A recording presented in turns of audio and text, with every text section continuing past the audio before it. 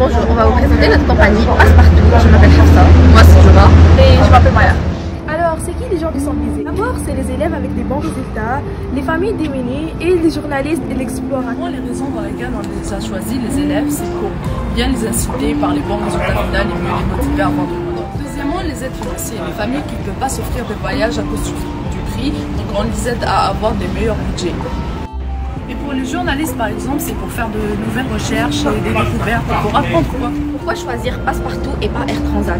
Déjà, car on fait des voyages exotiques. Par exemple, à chaque année, on change de destination où on peut apprendre une nouvelle culture, des langues, sociabiliser et apprendre de nouvelles choses.